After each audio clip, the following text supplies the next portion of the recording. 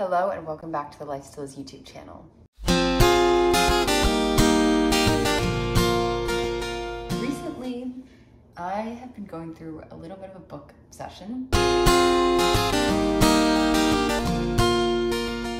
I've read five books in the past week and that is so rare for me, but I thought I'd take my newfound obsession with reading with something I've always loved, bullet journaling, put them together and make a book journal so I can remember all of the books that I'm reading in this phase. I don't know if it'll be a phase or if it'll continue. I kind of hope it continues because it's been a lot of fun. But when I go back to school, I know that I will be busy with other things and it may not continue. So I wanted to document this in my bullet journal and make a little book journal today.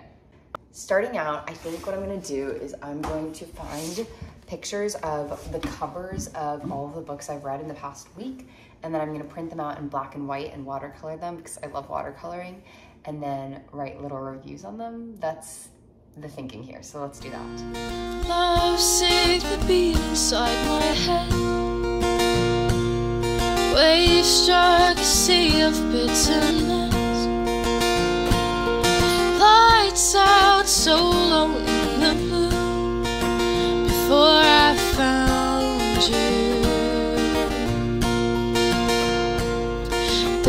Pass slowly lost And though you gave me hope And now there's only blood running through my veins. I've never been here before And I got love falling like the rain. I never could have asked for more. I got so much soul inside my bones. Take a look at me now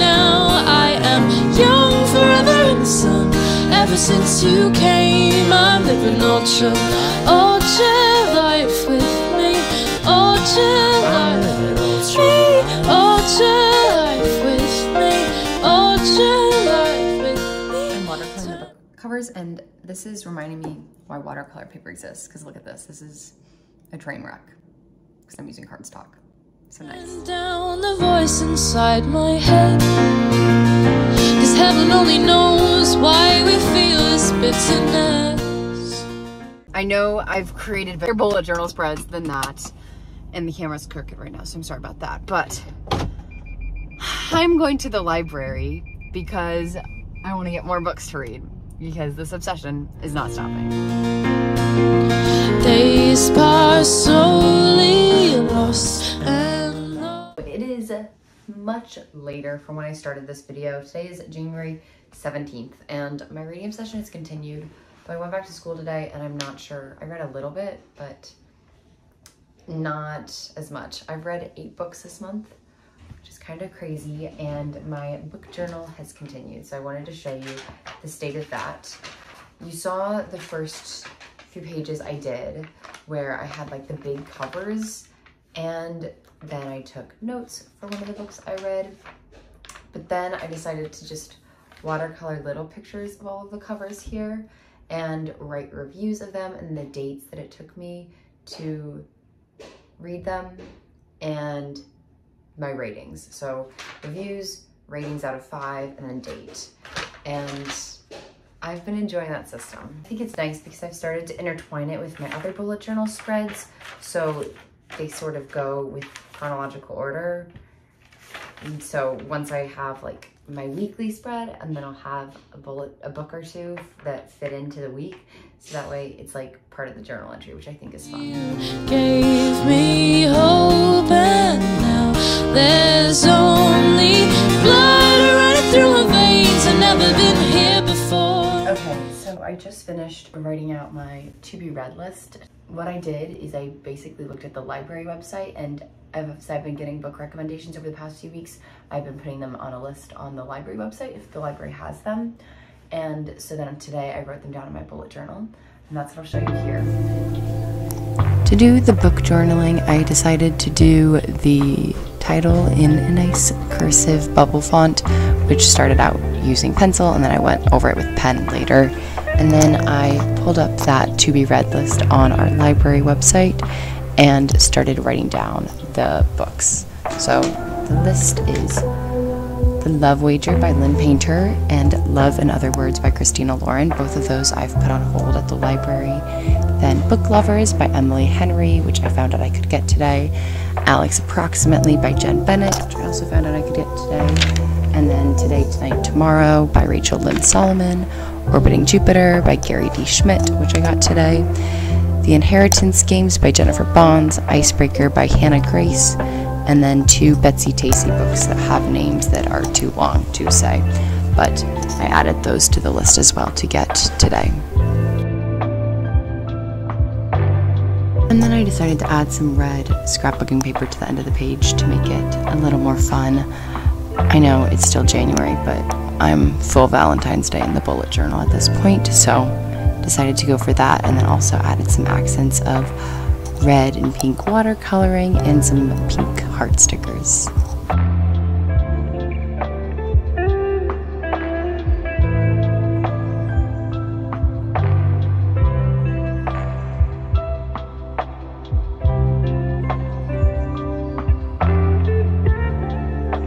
Here's the finished product. I think this will last me a few weeks, but I can also add some more books to it as I get recommended them. And then now I'm going to head to the library, I think, to pick up the books and do some studying there. I don't have any classes on Fridays and the library is like a 15, 20 minute walk away. So it's kind of far. It's off campus. Nothing else is out there. And so I think I'm going to take my morning off and go do that. Pick up the books, return books, and study there. The book I'm reading right now is The Atlas Six, and I am 116 pages in. It's 373 pages, and I'm not really getting into it. I started it, what was it? Monday of this week, and it's Friday, and I just can't get into it. It's not that interesting. Haley Pham, who I love, really likes this book. So I wanted to give it a chance, but I just can't get into it. I just looked at another review video and she couldn't get into it either. So I'm like, maybe I just don't want to read it. I think I'm gonna return it today and start fresh.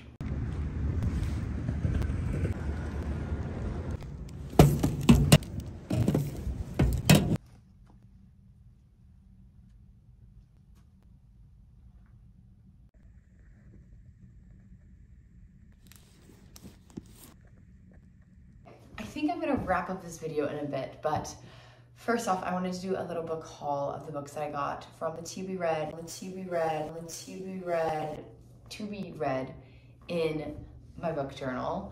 I picked up five books at the library. The first one is Orbiting Jupiter. This one my roommate told me to read. So we're gonna do that one and then put the review in my book journal. This one's like 180 pages and it looks pretty like big font, so that should be a quick one, hoping to get that one done tonight. I read Orbiting Jupiter tonight in about an hour, and that book was incredible. So if you have not read it, go read it. Then I got two that were recommended by Haley Pham. I got Book Lovers by Emily Henry, which looks like a cute romance, and Alex Approximately, which I have no recollection of what it is. I think it's romance. And the last two are Betsy Tacy books. My friend Brooke loves the Betsy Tacy books and I like them too. It's like a coming of age series. It starts when they're in preschool or kindergarten and then ends after Betsy's in like when she's old and married. I love how the series gets older, the writing gets older with the characters. So when you're reading like the preschool and elementary school Betsy and Tacy, that's like an elementary school book. And then these High school books are more middle school, high school reading level. So still should be pretty easy reads, but I kind of want an easy read after the Atlas 6 not enjoying it reading slump. Anyways, I hope you enjoyed this little adventure of turning my reading obsession into something that fits with a hobby I already have in being creative and journaling. If you enjoyed it, you can follow us on Instagram because that's probably where you can see more up-to-date reading content. We'll stick to normal life still is. Making positivity out of everything over here on YouTube, though I guess that fits in this video too. But if you enjoyed it, you can make sure you like it, comment, subscribe. If you have book recommendations for me, please give them to me because I will be adding them to my to be read. And other than that, I will see you in our next video. Ultra life with me, ultra life with me, ultra.